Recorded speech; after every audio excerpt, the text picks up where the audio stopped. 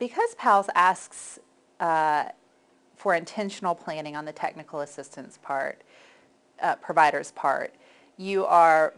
forced to become more thoughtful about how you provide technical assistance and you are forced to think about how the sequence of events will unfold more intentionally. So instead of coming in with maybe a punch list of things that you want to talk to a teacher about and today we're going to talk about room arrangement and the transition from lunch to nap and um, and materials.